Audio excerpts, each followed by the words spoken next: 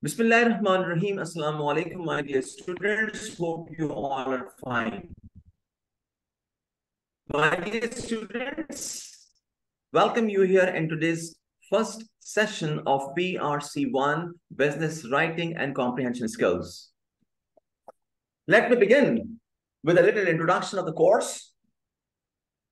What this course is basically and what we are going to study in this course and how do you face the examination paper. All that we'll discuss in this uh, today's class.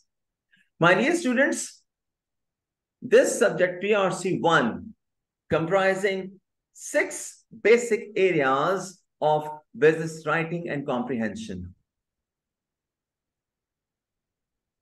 And those six areas are, here we have the table of content. The first chapter is about the writing process. The writing process. In this chapter, we'll be studying about the planning, then how do we plan the writing? How do we generate the ideas? Uh, what are the drafting or writing process processes? And how do we review the written text? So, my dear students, all the basics of the writing skills we'll cover in this chapter. The second is business message and correspondence. In this chapter, we'll be studying about the letter writing specifically. We also study memorandum writing here, but mainly we will study about the letter writing, then how do we write the letters and different types of letters, order letter, inquiry letter, circular letter, and different types. And also we study how to write the emails and memorandums or in short, we say memos. The third chapter is about the business reports, in which we study how to write different reports. As you're well aware that when you join your uh, professional life as a chartered accountant, you need to write different reports on daily basis.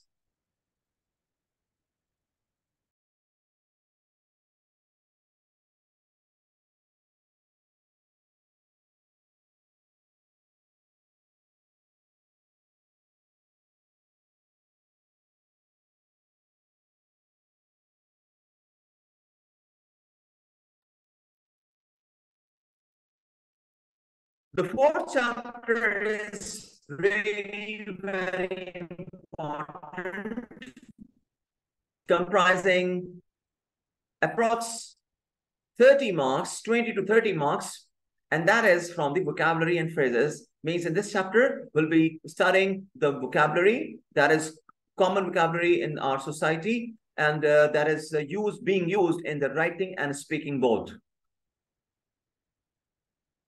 We also use, we also study in this chapter idioms and idioms, phrases.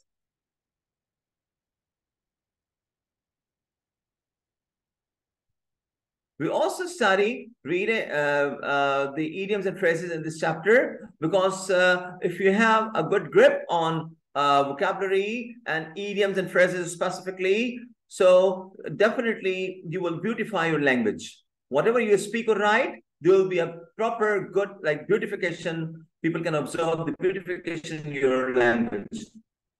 So vocabulary, a good vocabulary uh, and phrases and idioms basically beautify your language. जबान की खूबसूरती idioms और phrases और standard एक अच्छी vocabulary से बढ़ जाती है लोग attract होते हैं आपकी language की जाने whatever you write or speak especially people those who are going to, those who are having interest of uh, uh, in appearing in CSS, especially जो CSS वगैरह की तरफ़ जाते हैं तो CSS में you might know कि वहाँ पे तो ये बहुत ही important area है vocabulary or idioms and phrases and writing. Then you will be having argumentative writing. In this chapter, we'll study how do we convince the people, right? Through the argumentative writing हम किस तरीके से लोगों को हम convince करते हैं motivate करते हैं इंस्पायर करते हैं? हम अपनी राइटिंग के ज़रिए से किस तरीके से लोगों को अपनी जानब अट्रैक्ट करते हैं या उनको अपने दलाइल के ज़रिए से हमको कायल करते हैं? Right so mostly in this chapter will be starting about the essay writing as well. Right? As well as we'll study pressy writing in this chapter essay writing and pressy writing will be studied in this particular chapter So we'll, we'll, we'll write how to write the paragraphs, how to write the essays, how to write a précis. So all that we'll cover in this particular chapter of argumentative writing. And then finally, in the chapter number six, we'll be uh, cover we covered the reading and comprehension. In this chapter, we'll be having a usual, we'll be having a usual uh, like uh, uh, practice, a usual type of question that you might have seen, you might have faced in uh, during your uh, um, intermediate and uh, mass in your metric and intermediate classes or A or level classes. You will be given a paragraph, a long paragraph, and under the paragraph, you'll be given some questions, and you um, have to answer those questions given under the under the paragraph, right?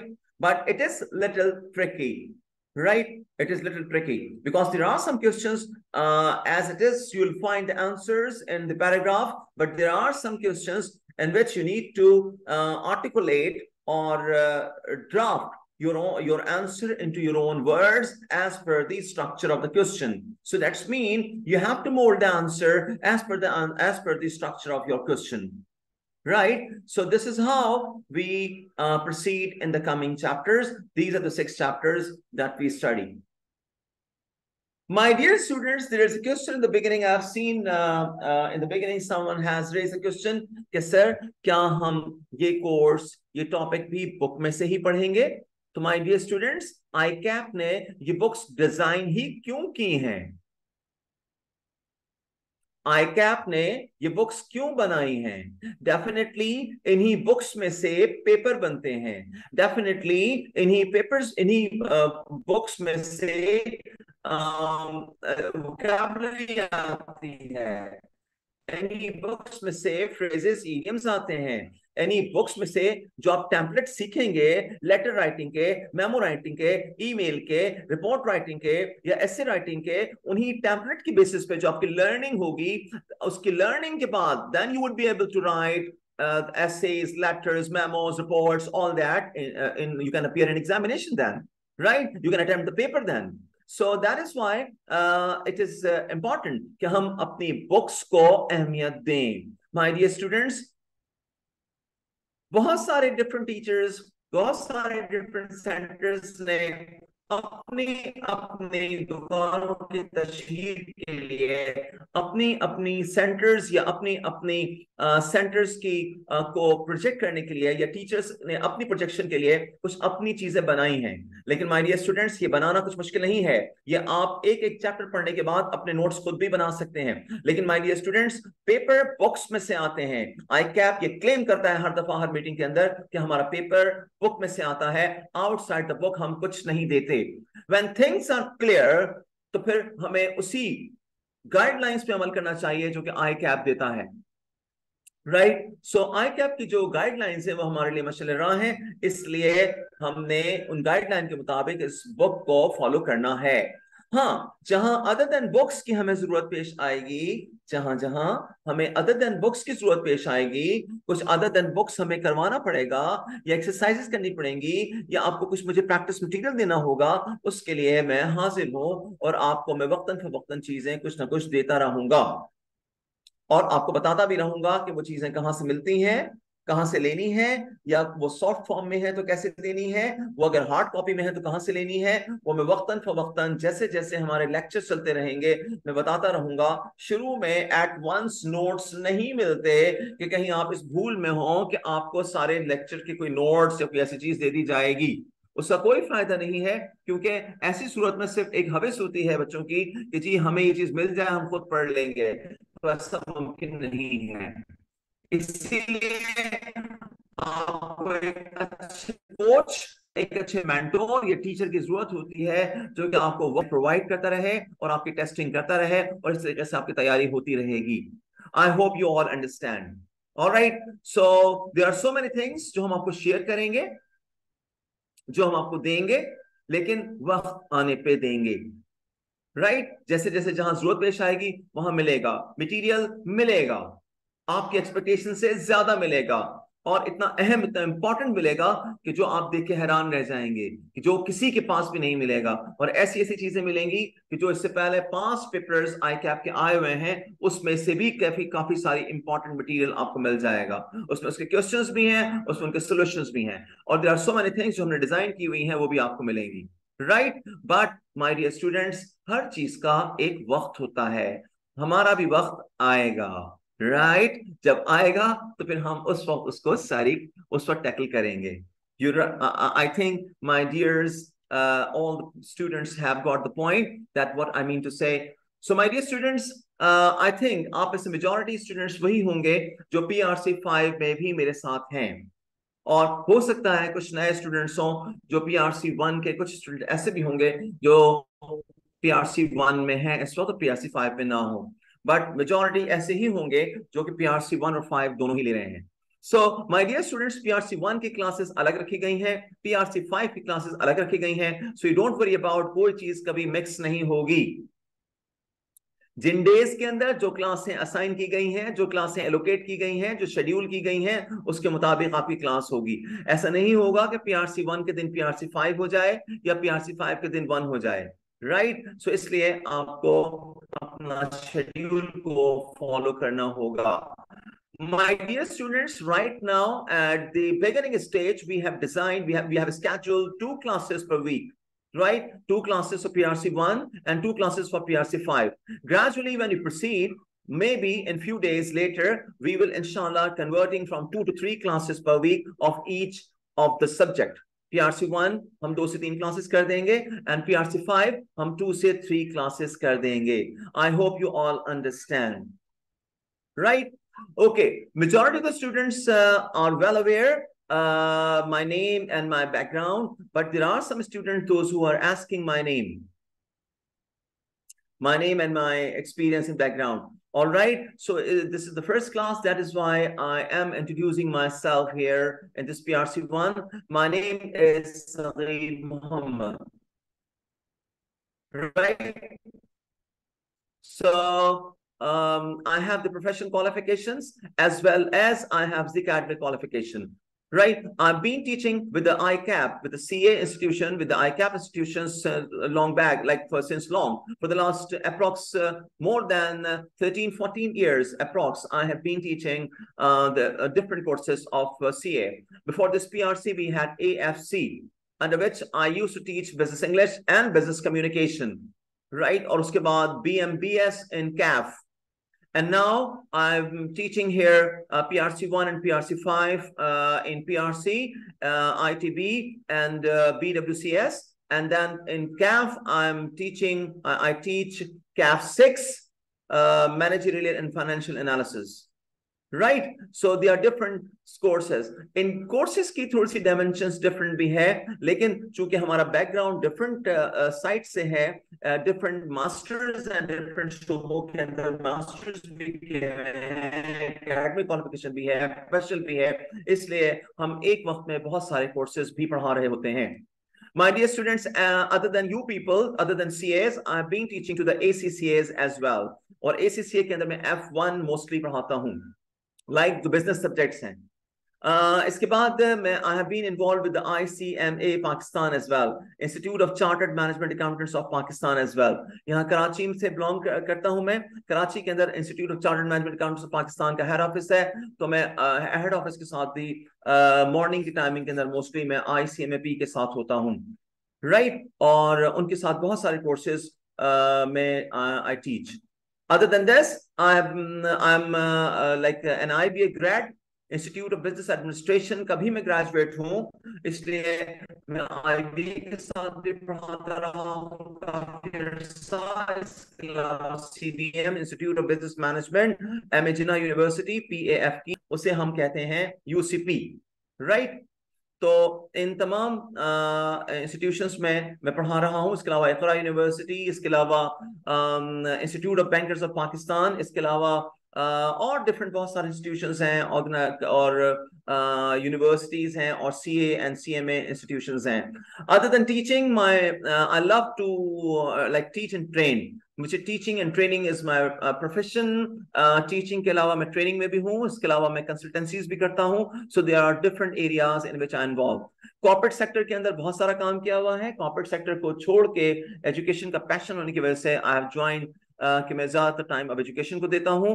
uh, uh, मैं अंबिया का जो शोबा है इल्म फैलाने का जो शोबा है उसको पसंद करता हूँ। नबी करीम सल्लल्लाहु अलैहि वसल्लम ने भी हालाँकि आप तिजारत भी फरमाया करते थे लेकिन आप अपने आप को मुअल्लिम कहलवाना पसंद फरमाते थे और आप कहते थे अना मुअल्लिम राइट अपने आप को मुअल्लिम कहलवाना आप अपने आप को बहुत पसंद फरमाते थे। सो ये अंबिया का आ, जो है वो विरसा है ये अंबिया का शोभा है तो सुन्नत के तौर पे भी हम इसे अपनाते हैं right so my dear students आप में से भी वो बच्चे जिनको अल्लाह ताला ने अंदाज बयां कुछ अच्छा दिया हो, बोलने का, लिखने का अंदाज अच्छा दिया हो, बहुत ज़बरदस्त से अच्छे से सुखनवर हो वो तो फिर वो इस शोबे में भी आ सकते हैं। और इस शोबे को बिल्कुल भी हल्का लेने की ज़रूरत नहीं है। अब जितना आप कैरियर इस शोबे में बना सकते हैं। इससे पहले इसके अंदर इतना नहीं था। माय डियर स्टूडेंट्स आप लोग फर्म में सीए करने के बावजूद फर्म में जाने के बाद कुछ एक्सपीरियंस लेने के बाद अपने अपने सेंटर्स लेके बैठे हुए हैं। ये बड़े बड़े सेंटर्स जो यहाँ कराची में आपको नज़र आएँगे ताबानी है अलहमद है ए आर टी टी है के एन एस है टी एम यू सी है and and and and so on there are so many so so, ये सब के सब क्यों ये बड़े बड़े सेंटर चला रहे हैं? इसलिए कि जब आप कहीं जॉब करते हैं तो आपको एक सैलरी मिलती है। लेकिन जब आपके पास कोई अपना बिज़नेस सेटअप होता है तो आपको बहुत सारी सैलरीज हर एक स्टूडेंट से सैलरी मिल रही होती है। I hope you understand so जहाँ जिसको दीन के हिसाब से आना हो तो भी इल्म का तकसीम करना सुन्नत है।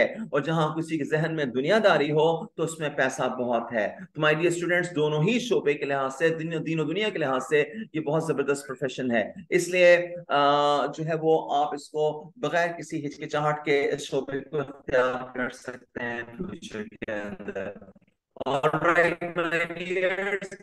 All होप understand. My dear students, uh, मैंने प्रोफेशनल uh, क्वालिफिकेशंस uh, के साथ साथ मैंने uh, कुछ एकेडमिक क्वालिफिकेशन कराची जो कि पाकिस्तान का एक टॉप नेम इंस्टीट्यूशन है uh, आपने यकीनन सुना हुआ नाम होगा नाम इंस्टीट्यूट ऑफ़ बिज़नेस एडमिनिस्ट्रेशन लोग वहाँ एडमिशन लेने के लिए तरसते हैं तड़पते हैं कोशिश करते हैं सो so, अल्लाह का शुक्र है I have uh, uh, like uh, got my degree, master's degree from IBA, and then I did my MS Then I did my MS from Zabist. एक और मास्टर डिग्री ली मैंने Zabist से and then I had did my MPhil from Hamdard University ये तीसरी degree है और चौथी डिग्री पे इस वक्त मैं गामजन हूँ और वो है PhD that I am doing from Kuala Lumpur Malaysia right so this is all from my side my uh my background my introduction as you people have requested that is why i have conveyed this all. I hope this is enough. और भी इसके सारे इसके साथ बहुत बहुत सारी सारी चीज़ें हैं टीचिंग है ट्रेनिंग है कंसल्टेंसीज हैं राइटिंग है बुक्स राइटिंग है ये सब चीज़ें भी हमारी साथ साथ चलती रहती हैं और right so my dear students Allah के फजल करम से और भी अल्लाह ने बहुत सारी इनायात की हुई हैं जो हम साथ साथ करते रहते हैं So my dear students, you may ask any question if you have here at the stage of the beginning of the class. uh, regarding the course, regarding the uh, uh, box, regarding anything else, uh, आप पूछ सकते हैं अपने तमाम questions अगर कोई जहन में हो and uh, otherwise I'm going to begin my lecture number one.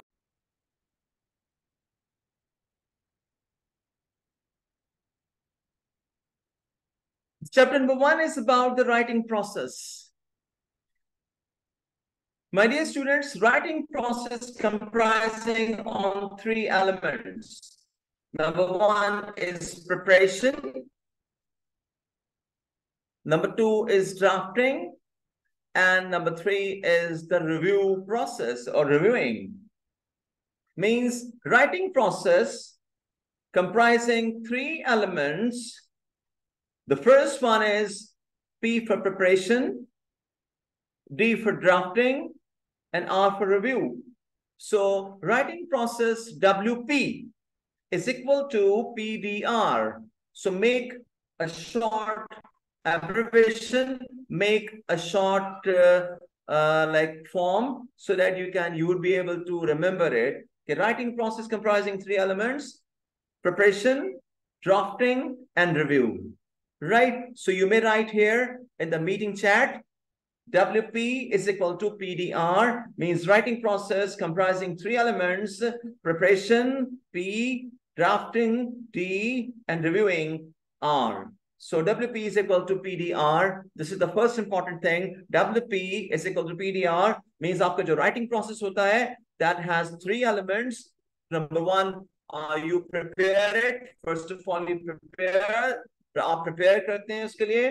Then drafting होती है एंड then आप उसको review करते हैं. My dear students, इन तमाम चीज़ों को हम ग्रेजुअली आगे जाके एक्सप्लेन करेंगे और डिटेल्स को देखेंगे. Right Right? अब फ़र्स्ट ऑफ़ ऑल हम देखते हैं प्रिपरेटरी स्टेप यानी प्रिपरेशन किस तरह से होती है my dear students preparation step और preparatory step of writing comprising और like knowing about the purpose audience and the contents.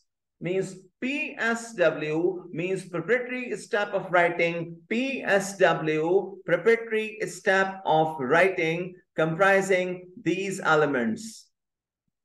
Here that I have highlighted on the screen. Here you can see that preparatory steps are comprising on three things, P for purpose, A for audience and C for contents. कि जब आप preparation करते हैं किसी चीज़ की when you prepare something when you are planning कि जी, मुझे ये चीज़ करनी है तो पहले आप ये देखते हैं कि मेरा पर्पस ऑफ़ राइटिंग क्या है, मुझे लिखना किस काम के लिए है, मेरा पर्पस क्या है रीजन क्या है, जिसके लिए मैं लिखने जा रहा हूँ। द सेकेंड इज़ ऑडियंस कि मेरा ऑडियंस कौन है, जिसके मुताबिक मैंने लिखना है। डिफरेंट ऑडियंसेस के लिए डिफरेंट टाइप ऑफ़ ऑडियंस के लिए हम डिफरेंट तरीकों से लिखते हैं। And the third one is according to purpose and audience the contents honge. So PSW means preparatory step of writing comprising three things. Number one, purpose. What is my purpose of the writing? Number two, who is my audience to whom I'm writing the letter or report or memo? And number three is what will be the contents as per the purpose and the audience. Right? Contents means वो matter वो जो आप convey करना चाहते हैं किसी को। जैसे मेरे कंटेंट्स इस वक्त मेरा लेक्चर है। मेरे कंटेंट्स आपके सामने स्क्रीन पर है जो मैं नॉलेज आपको स्प्रेड कर रहा हूँ। So contents is the knowledge is the information जो हम किसी को सेंड या रिसीव करते हैं। All right all right my dear students okay so my dear students second thing जो कि हमने यहाँ पढ़ी है, पहली पढ़ी हमने राइटिंग प्रोसेस कि writing process comprising on three things three elements preparation drafting and review उसके बाद हम आए प्रिपरेटरी स्टेप्स की जानब, कि जब हम किसी चीज़ को प्रिपरेशन करते हैं, लिखने के लिए तैयार होते हैं तो हम किस तरह से क्या सोचते हैं, कैसे लिखना शुरू करते हैं तो प्रिपरेटरी स्टेप्स के अंदर सबसे पहले हम देखते हैं कि मेरा पर्पस क्या है, मेरा मकसद क्या है, मैं क्यों लिख रहा हूँ, ये बुक मैंने लिखी है तो क्यों लिखी है राइट नंबर टू मेरा ऑडियंस कौन है? यानी इस बुक के रीडर्स कौन होंगे जिसके मैंने लिखी है? सो so, मेरा पर्पस क्लियर है कि मैंने इनको सीए की तैयारी के लिए इनको लैंग्वेज को इंप्रूव करना है। Number A and O levels करके आया है। सो so, मुझे ऑडियंस का पता है उसका लेवल क्या है। मुझे ये पता है कि, कि मेरा पर्पस ये है कि उनकी लैंग्वेज को इंप्रूव करना है। तो उसके मुताबिक अकॉर्डिंगली मैंने फिर कंटेंट्स डिज़ाइन किए अपना मैटर अपनी लैंग्वेज अपना टेक्स्ट डिज़ाइन किया। You got the point now Is this okay? Have you got the like? Uh, do you understand through this example? जो कि मैंने आपके अपने ऊपर ही फिट uh, की है.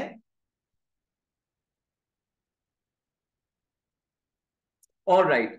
So my dear students, whenever we write any letter or report or memorandum or any article or any book or anything, we must keep in mind three things number one कि मेरा purpose क्या है? ये मैं किस मकसद के लिए लिख रहा हूँ? मुझे पर्पस ओरिएंटेड लिखना होगा।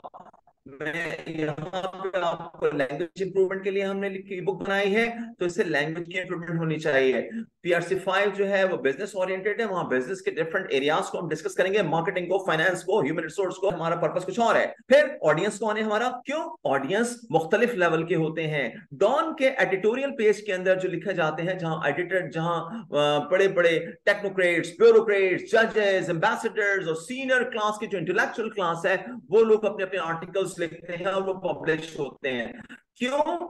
इसलिए वो पेज एडिटोरियल पेज कोई आम आदमी नहीं पढ़ता, वो टॉप क्लास के इंटेलेक्चुअल्स पढ़े लिखे लोग पढ़ते हैं नॉर्मल क्लास के बस का वो पेज नहीं है। वहाँ से वो लोग पढ़ते हैं जो सीएसएस की तैयारी करते हैं। वहाँ से वो लोग पढ़ते हैं जो इंटरनेशनल रिलेशंस इंटरनेशनल अफेयर्स और नेशनल अफेयर्स के ऊपर अपनी गहरी निगाह रखते हैं। ये वो लोग पढ़ते हैं जो मुल्क की इकोनॉमी को देख रहे होते हैं। ये टॉप क्लास के इंटेलेक्चुअल्स होते हैं। वो लोग पढ़ते हैं। इसलिए उसका लेवल भी हमारे जो है, चूँकि उसके ऑडियंस हाई क्लास के इंटेलेक्चुअल्स हैं हाई क्लास के पढ़े लिखे लोग हैं, इसलिए उसका लेवल उस पेज का बहुत हाई क्लास होता है, बहुत डिफ़िकल्ट लैंग्वेज या उसकी वोकेबलरी हाई लेवल की होती है। बड़े ज़बरदस्त इडियोमेटिक एक्सप्रेशन और फ्रेजल एक्सप्रेशन यूज़ किए जाते हैं उस पेज के ऊपर एडिटोरियल पेज के ऊपर। इसीलिए कहा जाता है कि सीएसएस के लोग अगर तैयारी करते हैं तो सबसे बेस्ट तैयारी जो है, वो डॉन के एडिटोरियल पेज से होती है।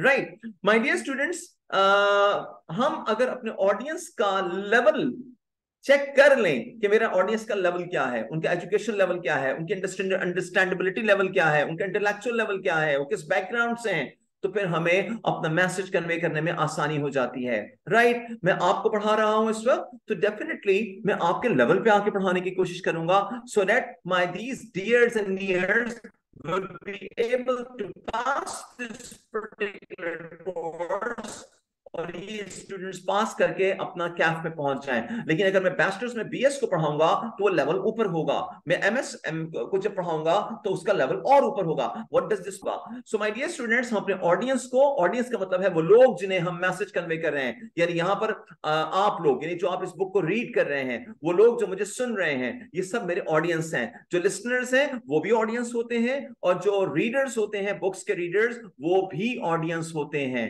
और right so my dear students हम अपने ऑडियंस का ख्याल रख के उनका लेवल देख के और अपना पर्पस ऑफ़ द राइटिंग मेरा मकसद क्या है, किसी लेटर को लिखने का रिपोर्ट को लिखने का, या किसी बुक को लिखने का, उस पर्पस को मद्देनजर रख के अपने ऑडियंस का लेवल को देख के, फिर हम अपने कंटेंट्स राइटिंग करते हैं, फिर हम जाके कोई चीज़ लिखते हैं। यू गॉट द पॉइंट अगर मेरा लिखा हुआ कुछ बहुत टफ हो बहुत मुश्किल हो, उसका लेवल आपसे बहुत ऊपर हो, वो बाउंस हो जाएगा आपसे, आपके मेंटल लेवल से काफ़ी ऊपर, आपकी समझ में नहीं आएगा। इसका मतलब क्या हुआ? इसका मतलब ये हुआ कि मैंने अपने ऑडियंस के लेवल का ख्याल नहीं रखा। हम मैंने मुश्किल तरीन चीज़ लिख दी है जो कि उनके लेवल की नहीं है। लेकिन माय डियर स्टूडेंट्स दूसरी तरफ़ आप लोगों को भी ये सोचना चाहिए कि अगर आप में से किसी का लेवल अगर किसी वजह से बेस सही नहीं रह सकी योर लेवल ऑफ़ मेट्रिकुलेशन के दौरान इंटरमीडिएट के दौरान अगर आप सही तरीके से अपने लैंग्वेज को इंप्रूव नहीं कर सके तो फिर ये आपके साइड पर भी फॉल्ट तस्वर किया जाएगा, क्योंकि ताली एक हाथ से नहीं बचती। और आपको और हमें मिल के एफर्ट्स करनी होती हैं किसी सब्जेक्ट को पास करने के लिए। All right so my dear students मैंने आपको दो चीज़ें बताई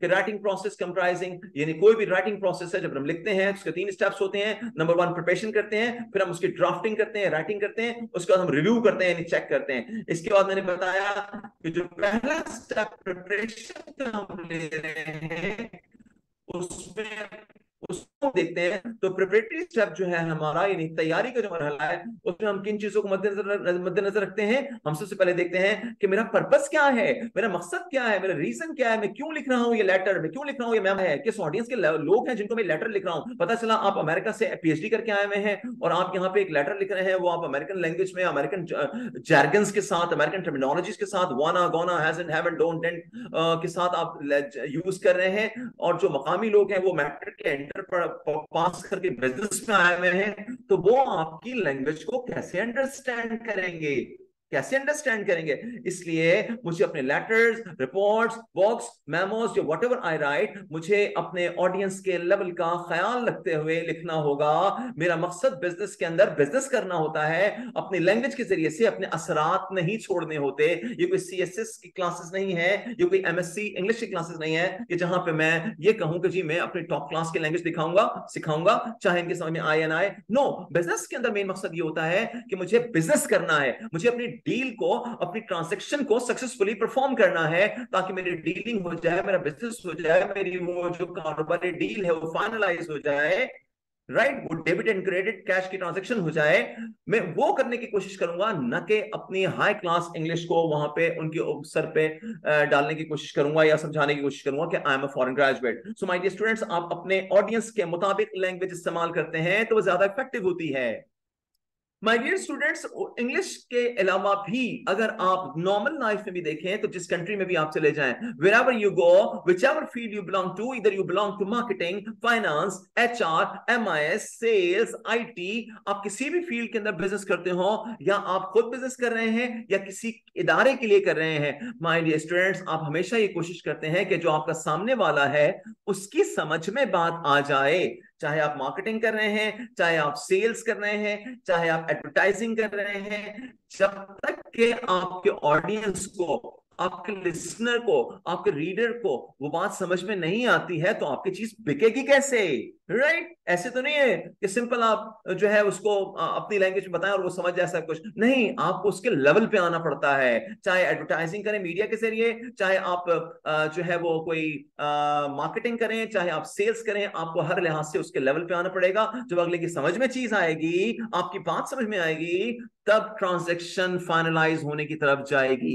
इसलिए आपको आपके अपने ऑडियंस का बहुत ख्याल रखना होता है कि आपको ऑडियंस ओरिएंटेड यानी अपने रीडर और लिस्टर के मुताबिक अपना टेक्स्ट डिज़ाइन करना होता है। I hope you all understand आपके कंटेंट्स आपके जो रिटर्न टेक्स्ट है, वो सारे के सारा आपके ऑडियंस के मुताबिक होना चाहिए, वरना वो छोड़ के चला जाएगा, उसके समझ में नहीं आएगा, वो वो डील नहीं फाइनलाइज हो सकेगी। All right Okay, Ji, these important things we studied. My dear students, in this chapter, um, in this chapter that is open in front of you, इसमें हम प्रोसेस ऑफ़ राइटिंग प्लानिंग से start करके then idea generation ये सब चीज़ें हम पढ़ेंगे यानी इस चैप्टर के अंदर हम ये सब चीज़ें कवर करेंगे जो हम इसमें डिस्कस कर रहे हैं the portion I have highlighted on the screen के The process of writing from planning, number one, number two, idea generation to drafting, number three, reviewing will be covered. Means in this chapter जो हम पढ़ने जा रहे हैं इसके details के अंदर हम कि हम किस तरीके से प्लानिंग करते हैं उसके बाद हम अपने प्लानिंग के मुताबिक, अपने जहन के मुताबिक, अपने आइडिया जनरेट कैसे करते हैं? यानी जहन में ख्याल को जमा कैसे करते हैं? आइडिया जनरेट कैसा होता है? लिखने से पहले, उसके बाद फिर हम अपने ख्याल को पेपर के कैनवस पे कैसे लेकर आते हैं? यानी कि आइडिया जो जनरेट जहन में हुआ है, उसको फिर पेपर पे लाकर ड्राफ्ट करते हैं और फिर फाइनली ड्राफ्ट करने के बाद हम उसको रिव्यू करते हैं चेक करते हैं कि कोई गलती से मिस्टेक तो नहीं हो गई कहीं? राइट सो इसलिए मैं ये तमाम चीज़ों को अगली क्लासेस के अंदर हम डिस्कस करेंगे। ऑलराइट माय डियर स्टूडेंट्स इसी चैप्टर के अंदर we will also study various idea generation techniques yes Sameer Raza we coming towards gradually gradually gradually. Uh, you, you just wait you just wait you just wait. Just wait Okay. Uh, my dear students, in this chapter, we'll be studying about the idea generation techniques. कि idea generate हम किस किस technique से करते हैं जैसा कि हमारे एक स्टूडेंट ने अभी यहाँ पे इस वक्त लिखा है और मैं उसको इससे लिंक अप कर दूँ कि जैसा समीर रजा लिख रहे हैं कि सर ये तो नॉर्मल बात है बट पेपर में तो फिशबोन एफिनिटी डायग्राम वगैरह आती है राइट right? तो वो कैसे करेंगे? मतलब तो माय डियर समीर रजा यहीं से मुझे आपको लिंक भी करना था, जो आप थोड़ा सा पहले सवाल कर गए, कि जो मैं कह रहा हूँ ना वेरियस आइडिया जनरेशन टेक्निक्स तो हम यहाँ पर आइडिया जनरेशन टेक्निक्स हम यही जो आपने लिखी हैं, ये आइडिया जनरेशन टेक्निक्स हम पढ़ेंगे।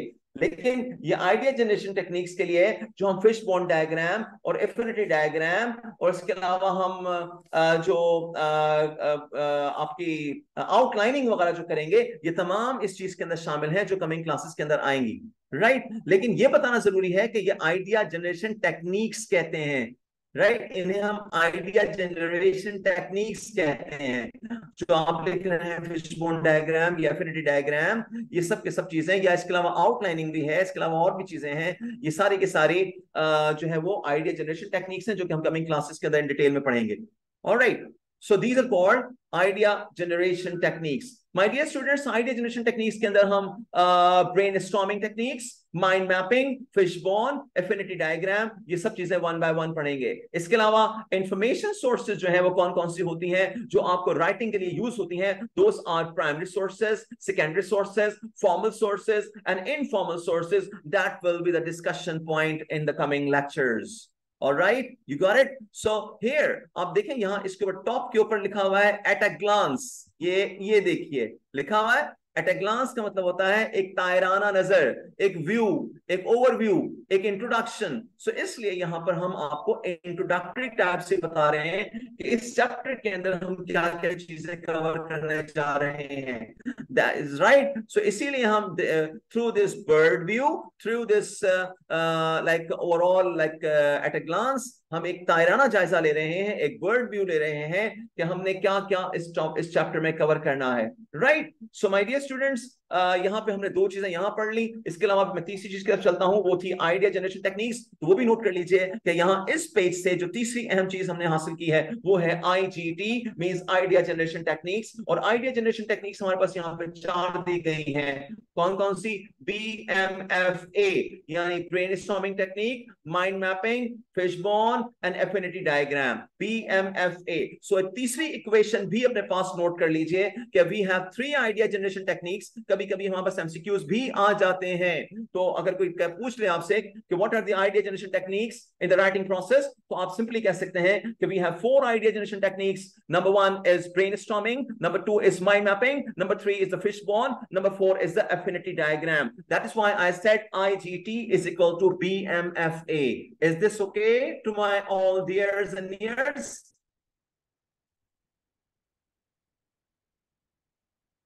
I hope this is clear. The third important thing after WP, writing process, then PSW, preparatory steps of writing, and then the idea generation techniques, IGT. Now, the fourth one I'm coming, that is information sources. कि information sources कौन कौन सी होती हैं so information sources के लिए हमने आपको बताया कि ये information sources के अंदर आपके पास चार different sources हैं एक कहलाती है primary source the second is secondary source. Then we have the formal source. And then we have the informal source, PSFI, right? So there are four sources we will use in this particular chapter. We'll study four different sources, primary source of information, secondary source of information, formal source of information, informal source of information that all we'll discuss in this chapter. All right? Is this okay? So IS is equal to PSFI. Information sources are P for primary source, S for secondary source, F for formal source and I for informal source. So ये छोटी छोटी सी abbreviations मैंने आपको बनवा दी हैं इसकी वजह ये है कि इस तरह से आपके जहन में चीज़ें बैठ जाएँगी right so my dear students ये जो एट अ ग्लांस होता है, ये जो बर्ड व्यू होता है, ये ओवरव्यू होता है, इसको हल्का लेने का नहीं है कि आप सोचें कि सर वो तो हम डायरेक्टली वहाँ जंप कर जाएँ, किस तरफ़? आइडिया जनरेशन टेक्निक की तरफ़ की तरफ़ डायरेक्टली जाके ब्रेन स्टॉमिंग पढ़े माइंड मैपिंग पढ़े फिशबोन पढ़े डायग्राम पढ़े। पढ़ लेंगे। उससे पहले ये तो पता करें कि जनाब ये है, क्या चीज़ें हैं, ये आइडिया जनरेशन टेक्निक्स हैं। इनके जैसे हम आइडिया जनरेट करते हैं। इसके अलावा सोर्सेज कौन कौन सी यूज़ करते हैं हम राइटिंग के लिए? उसमें चार सोर्सेज हैं primary source secondary source formal sources and formal sources यानी जो हम इन सबको जाके वन बाय वन स्टडी करेंगे in this particular chapter my dear friends is this okay to all of you Is this all clear to everybody? Is there any ambiguity or any confusion, my dears? No? All clear, happy? My dear students, हम इसको जाके यहाँ इस तरह से sum up कर देते हैं कि यहाँ आपके सामने स्क्रीन के ऊपर आप देखें कि राइटिंग प्रोसेस के थ्री स्टेप्स जो हमने पीछे डिस्कस किए हैं वो लिखे हुए हैं here we have the three steps of writing कौन कौन से दिए हुए हैं प्लानिंग देन राइटिंग और ड्राफ्टिंग एंड देन रिव्यूइंग आपके सामने है स्क्रीन के ऊपर। पहले आप प्लानिंग करते हैं first step second is drafting and then third review यानी चेकिंग सो इस तरह से हमारा ये डिस्कशन यहाँ पे कंप्लीट होता है। राइट और राइट माय डियर स्टूडेंट्स मिलते हैं आपसे 15 मिनट्स के नमाजी मगरिब के ब्रेक के बाद। Thank you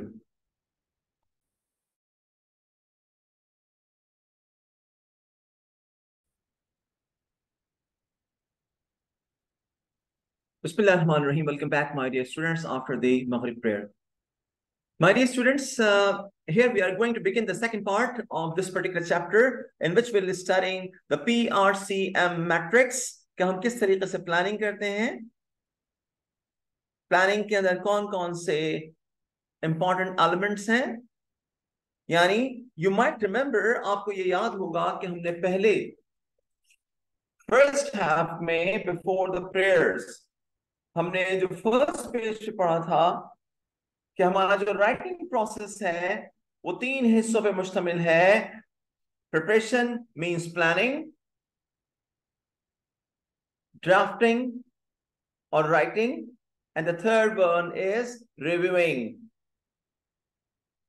ये जो हमने आपको नमाज़ से पहले जो फ़र्स्ट हाफ़ में बताया था इन दिस पर्टिकुलर मॉडल ये जो आप देख सकते हैं कि हमारा जो राइटिंग प्रोसेस है कंप्राइजिंग थ्री स्टेप्स पहला स्टेप है प्लानिंग दूसरा है राइटिंग या ड्राफ्टिंग और तीसरा है reviewing Here in this model, we have also shown the first step is planning, then drafting, and then reviewing. अब हम प्लानिंग का पहला फ़ेज़ पिक करेंगे स्टार्ट करेंगे और देखेंगे कि हम प्लानिंग किस तरीके से करते हैं अपने टेक्स्ट की। माय डियर स्टूडेंट्स अगर हम इन स्टेप्स को फॉलो कर लें whatever given here in this book we would be able to write according to the standards as per the standards होता ये है कि हमारे जहन में जो कुछ भी आता है, हम लिखते चले जाते हैं।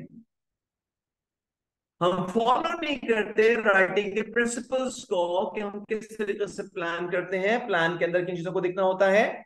प्लानिंग के अंदर वो जो मैट्रिक्स है पीआरसीएम का मैट्रिक्स है, उसको किस तरह से फॉलो करना होता है?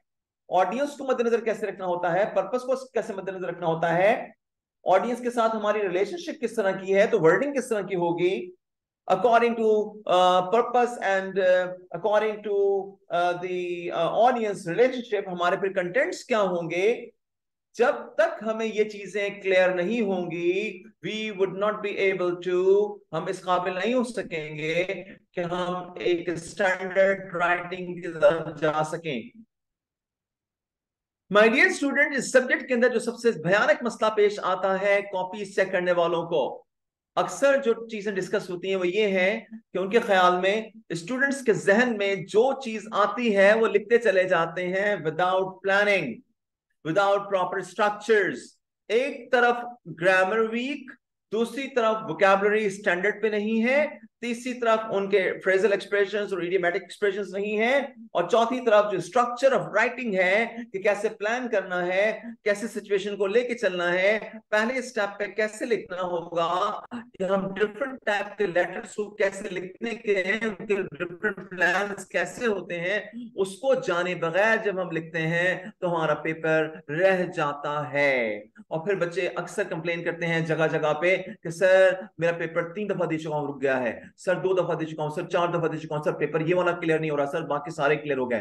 तो माय डियर स्टूडेंट्स जब तक के आप इस सब्जेक्ट की डेप्थ में नहीं जाएँगे जब तक के आप इस सब्जेक्ट को समझने की कोशिश नहीं करेंगे, तब तक के यही होता है कि लोग अपनी, वो इसे कहते हैं कि एक स्मार्टनेस ओवर स्मार्टनेस या ओवर कॉन्फिडेंस की वजह से कि मेरी इंग्लिश तो बहुत शानदार है, मेरी तो वोकेबलरी भी बहुत शानदार है, मैं तो ए लेवल्स ओ लेवल्स के बैकग्राउंड से आया हूँ, या मेरे लिए तो इंग्लिश ग्रामर इज़ नथिंग कोई प्रॉब्लम ही नहीं है, जब तक कि आप ओवर कॉन्फिडेंस रहेंगे और इस सब्जेक्ट को प्रॉपरली टारगेट नहीं करेंगे प्रैक्टिस नहीं करेंगे क्लासेस नहीं लेंगे, तब तक के आपको सब्जेक्ट क्वालिफाई करना ये वाला थोड़ा सा मुश्किल हो जाता है।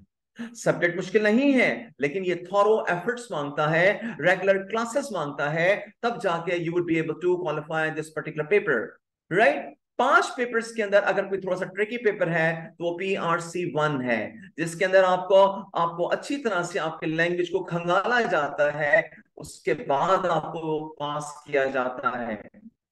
Right my dears so unfortunately हमारा जो मैट्रिक और इंटर का जो सिस्टम है, उसके अंदर कुछ इस तरह से है कि बच्चे पास तो कर लेते हैं, लेकिन उनकी लैंग्वेज वीक रह जाती है। ना ही वोकेबलरी सही होती है, ना ग्रामर सही होती है, बल्कि अनफॉर्चुनेटली मैं तो यहाँ तक कहूँगा कि बच्चा जो लिख रहा है, जो बोल रहा है, वो कॉन्फिडेंट तो बना का है, बल्कि ओवर कॉन्फिडेंट है, लेकिन उस बेचारे को ये नहीं पता कि मैं जो लिख रहा हूँ वर्ड या मैं बोल रहा हूँ वर्ड वो नाउन है, वो एडजेक्टिव है, वो वर्ब है, वो एडवर्ब है, उसकी nature of word nature of word क्या है उसकी? यानी जो पहला लेक्चर ग्रामर का होता है, यानी पार्ट्स ऑफ़ स्पीच स्पीच वो तक क्लियर नहीं होती बच्चे की तो फिर हम कहाँ से जो है वो राइटिंग की एक्सपर्टीज हासिल करेंगे? You got it my dears so ये खाम खा का ओवर कॉन्फिडेंस होना इस पेपर के अंदर हमें फेल कर सकता है या करता रहता है। सो so, इसलिए माय डियर स्टूडेंट्स वो तमाम लोग जिनकी ग्रामर थोड़ी सी वीक है जिनकी वोकैबुलरी वीक है यहाँ एक बेहतरीन सी अपॉर्चुनिटी हमें मिली है। आई वुड रिक्वेस्ट यू कि मेरे साथ साथ चलें और जम के चलें। Right right? और क्लासेस को रेगुलरली अटेंड कीजिए. Don't miss even a single class अगर आप टारगेट स्टडी पे जाएँगे कि डायरेक्टली मैंने एफिनिटी डायग्राम पे जाना है फ़िश बोन पे जाना है, मैंने डायरेक्टली एसए को देखना है डायरेक्टली मैंने प्रेसी को देखना है नथिंग एल्स उसके अलावा नहीं. तो फिर वही होगा जो आज तक होता हुआ आया है कि आपकी ग्रामर की वीकनेस की वजह से आपको बहुत सारे महाजों पे नाकामी का मुँह देखना पड़ता है या शर्मिंदगी का एहसास होता है। राइट माय डियर स्टूडेंट्स एक चार्टर्ड अकाउंटेंट की इंग्लिश अगर वीक हो तो ये बहुत ही शर्म की बात है। क्योंकि आगे आपको सिनेरियो बेस्ड पेपर्स हैं आगे तमाम सब्जेक्ट्स के अंदर आपको बहुत सारी चीज़ें खासतौर से जब कैप स्टार्ट होगा तो वहाँ तो आपके पास बहुत सारे सिनेरियोस बेस्ड चीज़ें होंगी। आपको उनको समझना भी है और उसके ऊपर आपने पूरा उस, उस चीज़ को समझ के अपने वर्ड्स में बयान भी करना है pages and pages right so my dear students अगर थोड़ी सी आप मेहनत कर लेंगे यहाँ पे तो आप बेहतरीन अंदाज में आगे बढ़ सकेंगे।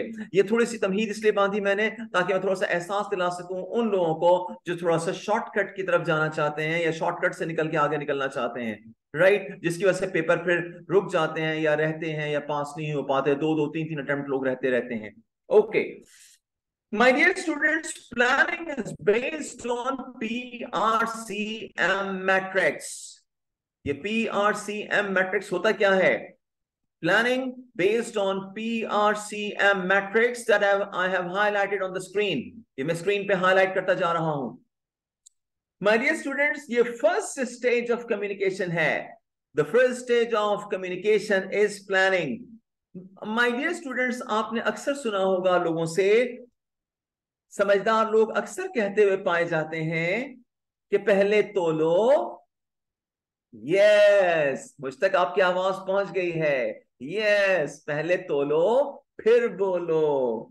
और जो लोग पहले तोलते नहीं है, अक्सर सुनते रहते हैं मुख्तलिफ़ लोगों से, जवाबन, कभी पेरेंट्स से, कभी इस से, कभी दोस्तों से, कभी बड़े बहन भाइयों से, कभी किसी और जगह से कि यार तुम सोचते समझते नहीं हो, जो मुँह में आता है देते हो, कोई आदमी प्लान भी करता है, कुछ सोचता भी है, पहले तोलो तो सही, बोलने से पहले सोचो तो सही, तुम क्या कहने जा रहे हो, किससे बात कर रहे हो, क्या बात करनी है तुम्हें, इसका मतलब वही है, यानी P R C M matrix यानी आपने यानी आपका पर्पज क्या है, किस मकसद के लिए बात कर रहे हैं, वो आपको सोचना है पहले, फिर आप किससे बात कर रहे हो बड़ा है, छोटा है, कोई बिजनेसमैन है, कोई जिससे डील करनी, वो है, कोई जज साहब सामने खड़े हुए हैं, कोई पुलिस वाला है, कौन है, किसी गवर्नमेंट ऑफिसर से बात कर रहे हैं, उस शख्स को देखो, यानी कि आपके सामने रेसिपेंट ऑफ़ मैसेज कौन है, वही जो मैंने आपको पीछे बताया था पहले पिछले पेज के ऊपर बताया था कि हम जब भी कोई बात करते हैं, जब भी हम कोई, जब भी हम कोई प्लानिंग करते हैं प्रिपरेशन करते हैं तो पहले हमें देखना होता है कि मेरा पर्पस क्या है, मैं क्यों बात कर रहा हूँ, मेरा रीजन क्या है, बेमकसद तो हम बात नहीं करते गालिब राइट बेमकसद हम बात करते नहीं गालिब। क्यों? इसलिए कि बेमकसद की फिर सुननी पड़ती है। सो माय डियर स्टूडेंट्स ये ज़बरदस्त जो सबसे अहम चीज़ ये है कि बात करने से पहले हमें ये देखना होता है, हमें ये देखना होता है माय डियर स्टूडेंट्स के आपका पर्पस क्या है और फिर आप किससे मुखातिब हैं बड़ा है, छोटा है राइट right? कोई गवर्नमेंट ऑफिशियल है, कोई बॉस है, कोई टीचर है, कोई पेरेंट्स हैं, किससे बात कर रहे हैं तो उसके मुताबिक आपको फिर अल्फाजों का चुनाव करना होगा। यानी आपके जो कंटेंट्स होंगे, जो अल्फाज होंगे, जो राइटिंग होगी, या जो बोलेंगे या लिखेंगे, वो फिर आपका जो है, आपके जो कंटेंट्स हैं, वो पर्पस और रीडर यानी कि रेसिपेंट्स के मुताबिक होंगे। यही तो है PRCM matrix my dear students कि फ़र्स्ट ऑफ़ ऑल इस पीआरसीएम मैट्रिक्स में हम पढ़ेंगे कि पर्पस क्या है। Right right? सबसे पहले हम पढ़ेंगे कि पर्पस क्या है आपका? उसके बाद रेसिपेंट कौन है? यानी कि रिसीवर कौन है? यानी ऑडियंस कौन है? किसके लिए आप मैसेज बना रहे हैं, लिख रहे हैं या बोल रहे हैं? नंबर थ्री उसके मुताबिक आपके कंटेंट्स डिज़ाइन होंगे। कंटेंट्स यानी टेक्स्ट आपका डिज़ाइन होगा। राइट? और फिर आप किस मीडियम के ज़रिए से अपना मैसेज कम्युनिकेट करेंगे जैसे मेरा मीडियम इस वक्त आपसे मैं आपसे मुखातिब हूँ हवा के दोष पे जूम के ज़रिए से मैं अपने अल्फाजों को आपकी समातों की नज़र कर रहा हूँ right I am basically communicating through the channel of Zoom so this is my medium Similarly, my book is open on the screen. So my book is also a medium to communicate you people, right? So that's mean what? कि मुझे planning करते हुए P R C M matrix को देखना होगा कि जनाब, मेरा पर्पस ऑफ़ द मैसेज क्या है? मेरा रेसिपेंट यानी मेरी ऑडियंस कौन है? और मेरे उसके मुताबिक कंटेंट्स फिर क्या होंगे? और मैं किस मीडियम के ज़रिए से कम्युनिकेट करूँगा? क्योंकि डिफरेंट सूरत हाल में डिफरेंट सिचुएशंस के अंदर हमारा मीडियम मुख्तलिफ़ होता है। कहीं पे राइटिंग है कहीं बुक्स हैं कहीं पे न्यूज़पेपर है कहीं पे लेटर्स हैं कहीं पे रिपोर्ट्स हैं कहीं पे मेमोज हैं कहीं पे नोटिस बोर्ड के ऊपर नोटिस लगा हुआ है कहीं पे मैं जूम के ज़रिए मुखातिब हूँ कहीं पे व्हाट्सएप है कहीं पे ट्विटर है कहीं पे एक्स है कहीं पे लिंक्डइन है कहीं पे so many others ways to communicate you people so they are so many mediums alright So, my dear students, planning is based on PRCM metrics और इसको मैंने जोड़ दिया है उस शोर आफाक सेइंग से, उस शोर आफाक फ्रेज से जो उर्दू में बोला जाता है, पहले तो लो, फिर बोलो। सो माय डियर स्टूडेंट्स जो आप पहले तोलने से पहले, बोलने से पहले जो तोलते हैं that is planning that is preparation और जो प्रिपरेशन करते हैं, जो आप प्लान करते हैं, वो फोर स्टेप पे मुनहसर है. P R C M means P for purpose R for recipient means audience. C for contents, material, matter, and then the medium. All right, my dears. So, my dear students, आपने वैसे भी देखा होगा ज़िंदगी के अंदर कि जब आप राइटिंग के प्रोसेस में जाते हैं आप लिखने से पहले तमाम why, when, where, how, WH questions को जहन में क्लियर करते हैं then you pick the pen and start writing, or then you open the mouth to say something to the listeners. Either you are saying something through your voice you communicating or you are communicating through the pen through the writing through the typing आप अपने what where when how तमाम WH questions को clear करते हैं अपने mind के अंदर यानी preparation करते हैं उसके बाद then you start writing so इसीलिए planning जो है वो base करता है PRCM matrix के ऊपर I hope this is clear My dear students, वो लोग जो बेमकसद बोलते हैं, बेमकसद लिखते हैं, बेमकसद जबान चलाते हैं चटर बॉक्स होते हैं, ये पर्पस ओरिएंटेड काम नहीं कर रहे होते। इसीलिए लोग उनको ज़्यादा टेंशन नहीं देते कि यार मकसद ही कोई नहीं होता, ऐसे ही खामोहा की बातें करता रहता है इधर उधर की मिलाता रहता है यार।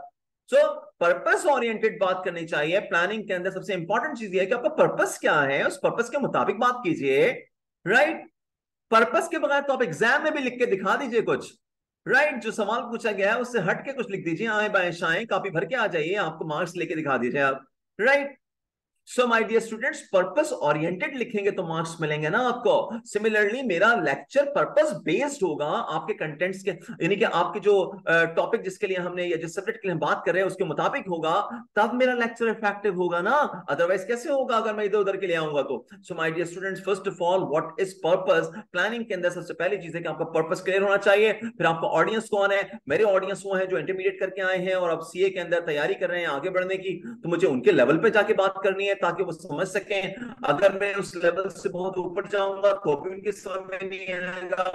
अगर मैं उनके लेवल से नीचे आऊँगा तो फिर सीए के स्टैंडर्ड को मीट नहीं कर सकूँगा। इसलिए मुझे अपने ऑडियंस के लेवल को मेंटेन करते हुए अपना लेक्चर मेंटेन करना है लेक्चर कन्वे करना है, या अपनी बुक्स लिखनी है। Similarly the third is contents मुझे अपने कंटेंट्स को डिज़ाइन करना है, वो अपने पर्पस और ऑडियंस के मुताबिक करना है। ऑल राइट उसके बाद फिर मैं देखता हूँ कि मेरा मीडियम क्या होगा। मैंने किस ज़रिए से कम्युनिकेट करना है अपने स्टूडेंट्स को। All right my dear students यहाँ अब चलते हैं डिटेल के अंदर। सबसे पहले पर्पस की डिटेल्स आपके सामने आई हैं। माय डियर स्टूडेंट्स हमने, हम में से जो लोग पी आर सी फाइव भी पढ़ रहे हैं, उनको पता होगा कि हमने कल के क्लास के अंदर पढ़ा था। हमने कुछ पर्पस ऑब्जेक्टिव और एम वगैरह पढ़ा था। कुछ याद आया? तुम्हें याद हो कि ना याद हो? हमें याद है जरा जरा।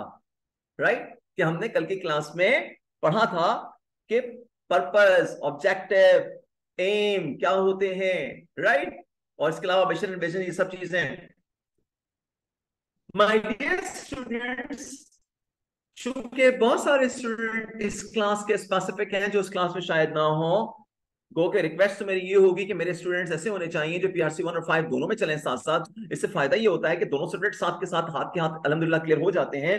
बहरहाल my dear students written communication में आपका पर्पस क्लियर होना चाहिए। Reason why you are communicating a message can be carefully plan if the purpose is clear your message आपका पर्पस अगर क्लियर है तो फिर वो केयरफुली प्लान हो सकता है।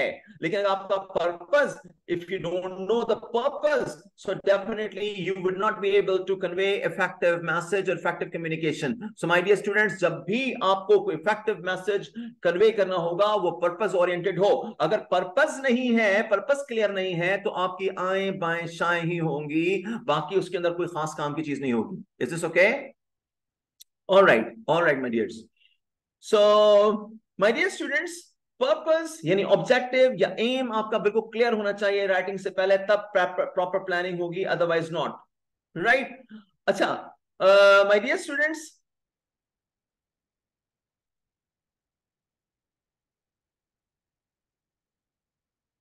okay okay मैं करता हूँ क्लास के बाद क्लास अभी क्लास चल रही है। All right my dear students purpose के अंदर हमने जिन इंपॉर्टेंट फैक्टर्स का ख्याल रखना होता है पर्पस के लिए हमने किन चीज़ों का ख्याल रखना है वो given here Number one, checking that each element of the message is relevant and suitable to the audience. Purpose तब पूरा होगा जब आप जो मैसेज कन्वे करना चाह रहे हैं क्या वो सुटेबल है ऑडियंस के लिए? अगर सुटेबल है वो चाहते हैं जिस टॉपिक पे बात करने के लिए वही दे रहे हैं तो इसका मतलब आपका मैसेज पर्पस ओरिएंटेड है। यानी मेरा लेक्चर जैसे मिसाल के तौर पे my lecture is purpose oriented if I deliver the same for that कि जिसके ज़रिए से मैं आपकी एग्ज़ाम की तैयारी करवा सकूँ, जो मेरे बुक के कंटेंट्स हैं, जो एग्ज़ाम के क्वेश्चन से आ सकते हैं, उसको मुताबिक मैं चल रहा हूँ तो मेरा पर्पस क्लियर है, मैं पर्पस ओरिएंटेड चल रहा हूँ। ये सुटेबल है मेरे ऑडियंस के लिए, क्योंकि मेरे ऑडियंस मेरे स्टूडेंट सुन के इस चीज़ को तैयारी कर सकेंगे आगे। You got it The second point, providing all the points that are needed and are in logical order. My dear students, आपका पर्पस उसी वक्त क्लियर हो सकता है जब आपकी वो तमाम चीज़ें जो कि ज़रूरत है वो आपके टेक्स्ट के अंदर आपके लेटर मेमो रिपोर्ट के अंदर शामिल हो और दूसरा वो लॉजिकल ऑर्डर्स में हो यानी कि आपकी सीक्वेंस जो बनती है कि first things comes first and last thing goes at the last यानी पहली चीज़ शुरू में आएगी एंड सो ऑन सीरीज़ बनेगी। यानी आप आखिर की चीज़ को पहले, बीच की चीज़ को शुरू में, शुरू की चीज़ को बीच में नहीं ला सकते। ये सब लॉजिकल ऑर्डर में हो तो भी आपके पर्पस के लिए ये भी एक इंपॉर्टेंट एलिमेंट है कि आप लॉजिकल ऑर्डर के अंदर अपनी चीज़ों को प्रेजेंट करें, ताकि पर्पस क्लियर हो सके, चीज़ें समझ में आ सकें। Right right? जैसे कि मैं अगर डायरेक्टली आपके फ़िश बोन डायग्राम या एफिनिटी डायग्राम पे चला जाऊँ, जो कि तीन चार पेजेस के बाद का टॉपिक है, अगली क्लासेस का टॉपिक है डायरेक्ट डायरेक्ट चला जाऊँ और मैं आपको P R C M matrix जैसी इंपॉर्टेंट तरीन चीज़, जो कि पूरे बिगिनिंग ऑफ़ द कोर्स से लेकर एंडिंग ऑफ़ द कोर्स तक हर चैप्टर में मौजूद बहस रहेगी, उसको मैं मिस कर दूँ तो फिर आप इस सब्जेक्ट को पास नहीं कर सकेंगे। इसलिए मैंने क्या किया? फ़र्स्ट थिंग्स कम्स फ़र्स्ट इसलिए मैंने आपको पहले बिगिनिंग से फ़र्स्ट पेज से लेके चलाऊं ताकि एक एक कॉन्सेप्ट को क्लियर करके आपको उस मंजिल तक तरफ़ की तरफ़ लेके जाऊँ कि आपका हर चीज़ आखिर तक क्लियर हो, क्योंकि पी आर सी एम का कॉन्सेप्ट आप आखिर तक देखते रहेंगे और सुनते रहेंगे कि हर जगह लेटर राइटिंग में रिपोर्ट राइटिंग में मेमो राइटिंग में एसे राइटिंग में प्रेसी राइटिंग में हर जगह पे यूज़ होता हुआ नज़र आएगा। यहाँ तक कि आप जब आखिरी चैप्टर पे जाएँगे, वहाँ पे भी पीआरसीएम का मैट्रिक्स और वहाँ पे भी ये सब चीज़ों का डिस्कशन हो रहा होगा। तो क्यों ना हम इसको शुरू की क्लासेस में कर लें और बेस बना दें आपकी, ताकि आपको प्रॉब्लम ना हो आगे जाके। इसीलिए मैंने आपको इससे पहले कि हम फ़िश बोन और रेफिनेटिव पे जाएँ, उसकी जो बेसिक्स हैं, उसको क्यों ना हम कवर कर लें। माय डियर स्टूडेंट जिन जिन जगहों पे, जिन जिन इंस्टीट्यूट्स के अंदर या जो जो टीचर्स इन चीज़ों को प्रॉपरली टारगेट नहीं करते हैं उसकी वजह से उनके बच्चे आमतौर से प्रॉब्लम में आए रहते हैं सर चार नंबर से रह गया सर तीन नंबर से पेपर रह गया राइट लाइक दिस सो इसलिए हम शुरू से इस पे काम करना चाहते हैं All right. So, my dear students, uh, हम uh, uh, the third point is के जो reviewing to make sure message is complete and achieve its objective. So, आपकी जो पर्पस ओरिएंटेड मैसेज होता है, वो कंप्लीट होता है और वो ऑब्जेक्टिव ओरिएंटेड होता है, जिस मकसद के लिए लिख रहे होते हैं, वो उसमें शामिल होता है। Right so these are the important points कि आपका पर्पस ओरिएंटेड मैसेज के अंदर ये तीन कैरेक्टरिस्टिक्स पाई जाती हैं। All right right? इनको रटने की ज़रूरत नहीं है सिर्फ़ समझने की ज़रूरत है। एग्ज़ाम में ये नहीं कहा जाएगा कि डिस्क्राइब पर्पस क्या होता है, इसकी डिटेल लिखो। बल्कि वो आपसे कॉन्सेप्चुअली इन चीज़ों को इंप्लीमेंट करवाएँगे अपने लेटर राइटिंग के अंदर रिपोर्ट के अंदर मेमोरेंडम के अंदर मैसेज के अंदर, प्रेसी के अंदर ऐसे के अंदर। यू करेक्ट सो इसलिए इस थ्योरी को समझना ज़रूरी है ताकि हम प्रैक्टिकली इसको इंप्लीमेंट कर सकें जब हम प्रैक्टिकली लिखने जा रहे होंगे। Alright right? यहाँ एग्जांपल देखते हैं। देखिए माय डियर स्टूडेंट्स जब हम किसी कोलीग वगैरह से कम्युनिकेट करते हैं हाँ? अपने कोलीग से आप जब कम्युनिकेट करते हैं, अपने साथियों से कम्युनिकेट करते हैं so there are some reasons कि why working colleagues communicate each other कुछ ना कुछ तो पर्पस होगा ना। कुछ ना कुछ तो मकसद होगा ना। बेमकसद तो हम बात करते नहीं गालिब? हाँ मुझे मैंने कहा था आपसे पहले, हम जब भी बात करते हैं अपने दोस्तों से इसलिए करते हैं? हमारा पर्पज है फॉर एंजॉयमेंट मज़े मज़े की बातें कर रहे हैं दिल पेशोरी कर रहे हैं एक दूसरे के साथ एक दूसरे के साथ एंजॉयमेंट कर रहे हैं गपशप कर रहे हैं टॉन्ट कर रहे हैं आ, कोई काम की बात कर रहे हैं। सम टाइम हम क्या कर रहे हैं? हम ऑफ़ आइडियाज़ और understood and valued some time हम क्या होता है कि हमारे जो आइडियाज़ होते हैं उन पर हम बात करते हैं कि जनाब उनको कोई अंडरस्टैंड करे या वैल्यू दे। इसी तरह से सम टाइम हम अपने आइडियाज़ को अपनी इन्फॉर्मेशन को शेयर करते हैं। सम टाइम हम ऑप्टेन करते हैं। सम टाइम हम खुद आइडियाज़ दे रहे होते हैं इन्फॉर्मेशन दे रहे होते हैं। सम टाइम हम किसी और से ले रहे होते हैं वो इन्फॉर्मेशन या आइडियाज़ ठीक है? समटाइम्स हम डिमोस्ट्रेट करते हैं अपनी कॉम्पिटेंस को कि जनाब ये चीज़ मुझे आती है पीआरसीएम सीखना है, मुझसे सीख लो। प्लानिंग पता है क्या होती है? आओ बताता हूँ तुम्हें मैं राइट right? और बताता हूँ तुम्हें पेपर कैसे क्लियर करते हैं। हम अपने डेमोस्ट्रेट करते हैं अपनी कॉम्पिटेंस को राइट समटाइम्स हम ट्रस्ट के लिए भी कम्युनिकेट करते हैं। समटाइम हम जो है वो वी शो रिस्पेक्ट हम अपने किसी को रिस्पेक्ट बताने के लिए हम कम्युनिकेट करते हैं कि हम आपकी रिस्पेक्ट करते हैं. समटाइम हम अपनी रैपो बनाते हैं. बिल्ड रैपर यानी अपनी रैपो बनाने के लिए बात कर रहे होते हैं कि हम ये ये डील करते हैं और हमारा इतना एक्सपीरियंस है और ये है, वो है. माय डियर स्टूडेंट्स हम इन तमाम कामों के लिए कम्युनिकेट करते हैं. इसका मतलब क्या हुआ? कि purpose of communication different situations में डिफरेंट होगा. जब डिफरेंट सिनेरियोस के अंदर हमारे पर्पस हमारा ऑब्जेक्टिव डिफरेंट होगा तो अकॉर्डिंगली हम प्लान करेंगे कि दोस्तों से बात कर रहे हैं एंजॉयमेंट की तो हमारे कंटेंट्स डिफरेंट होंगे, क्योंकि हमें पता है कि हमारी, हम प्लान कर रहे हैं, हमारे जहन में है कि मेरा पर्पस क्या है एंजॉयमेंट करना, मेरे सामने कौन है, मेरा ऑडियंस कौन है, मेरा कुलीग है तो जनाब फिर मैं उसी के मुताबिक कंटेंट्स डिज़ाइन करूँगा राइट मैं अपने दोस्तों से बात करूँगा तो मैं इन्फॉर्मल भी बात कर लूँगा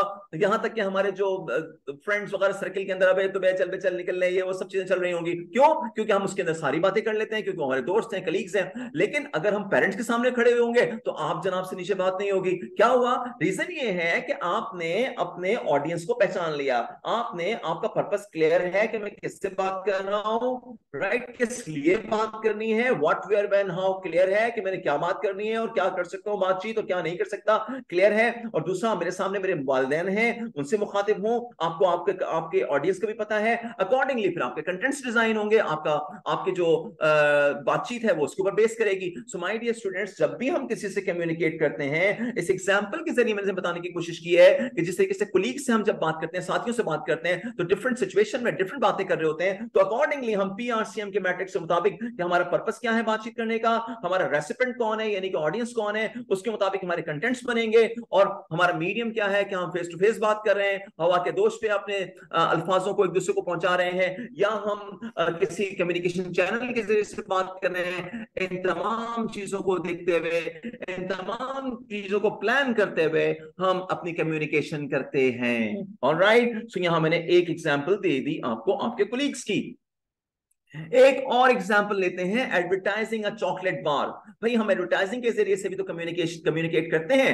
हाँ? हम जो ये जितने भी एड्स हैं टेलीविज़न के ऊपर आप जो देखते हैं मीडिया पे देखते हैं, आप जो तो ये एडवर्टाइजिंग के एडवर्टाइजिंग के ज़रिए से we basically communicate with the customers with the perspective customers कि जो मुस्तकबिल हमारे कस्टमर्स बन सकते हैं, उनको हम कम्युनिकेट करते हैं अपना मैसेज अपने प्रोडक्ट्स के बारे में, अपने सर्विसेज़ के बारे में। तो माय डियर स्टूडेंट्स हम अगर मिसाल के तौर पे हम अगर कोई एड बनाना चाहते हैं किसी चॉकलेट बार के बारे में तो प्राइमरी ऑब्जेक्टिव हमारा ये है, there are two objectives जब हम किसी से कम्युनिकेट करते हैं। The primary objective is to persuade the consumer or the customer कि वो चॉकलेट को खरीदे राइट right?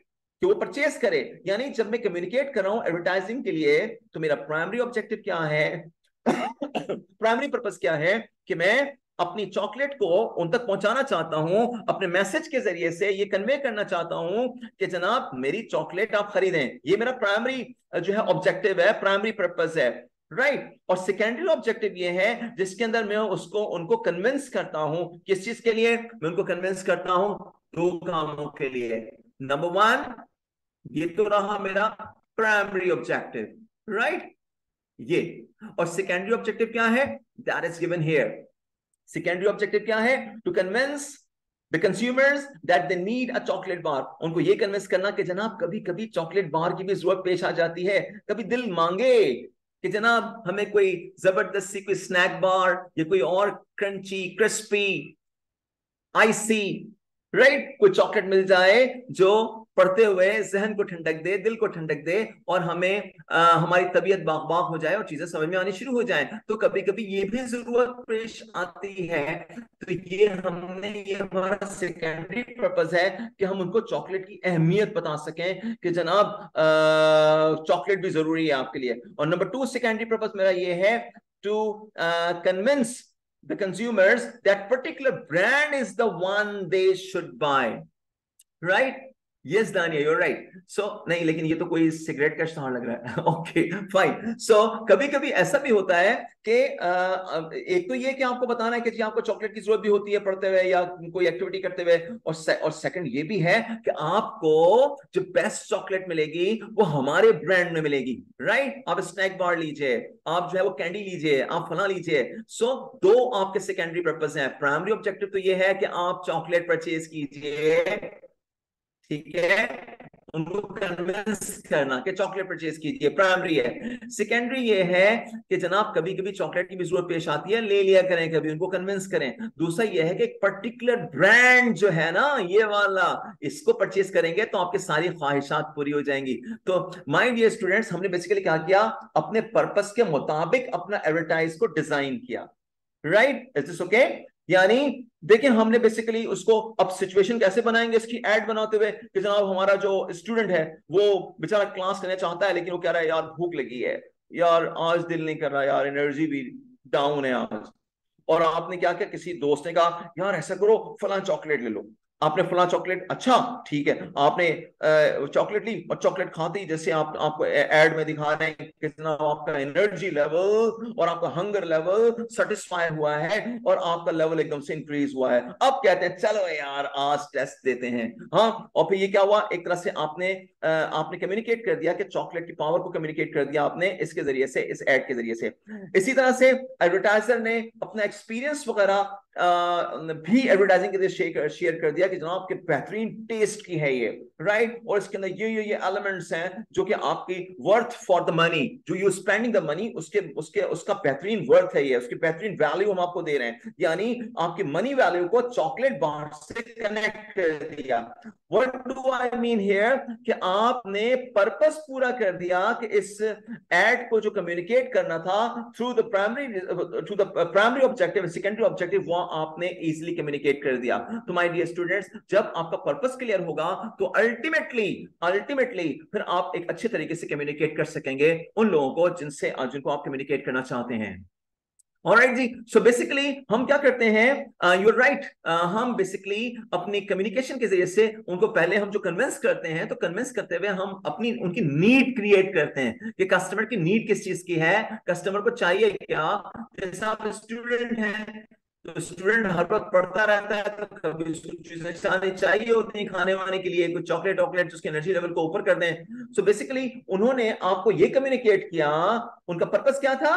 प्लानिंग करते हुए क्या पर्पस था उनका? पहला पीआरसी मैट्रिक्स के अंदर जो पर्पस था, ये ऑब्जेक्टिव था कि लोगों को ये बताया जाए कि आपकी नीड है चॉकलेट राइट right? किसको? स्टूडेंट्स को, या जो भी लोग हैं, उनकी नीड है चॉकलेट और ये खाएँगे तो ये बेनिफिट्स मिलेंगे। सो माय डियर स्टूडेंट्स हम बेसिकली पर्पस अगर क्लियर हो तो हम एक इफ़ेक्टिव मैसेज डिज़ाइन कर सकते हैं, एक अच्छा सा एडवर्टीजमेंट डिज़ाइन कर सकते हैं, हम अपने मैसेज को इफेक्टिवली कम्युनिकेट कर सकते हैं। आपने सुना होगा, अक्सर कई दफ़ा लोग बातों को जुमाने अंदाज में करते हैं।